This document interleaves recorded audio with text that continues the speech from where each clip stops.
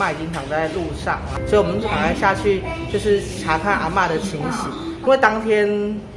太阳很大，然后就怕阿妈会觉得就是很热不舒服，所以所以我们赶快帮她做撑伞的动作，这样。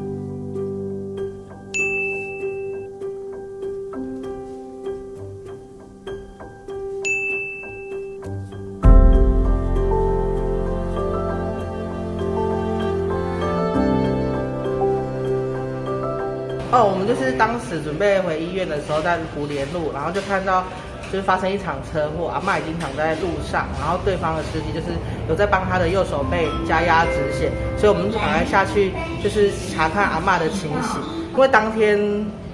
太阳很大啊，然后就怕阿妈会觉得就是很热不舒服，所以所以我们赶快帮他做撑伞的动作，这样。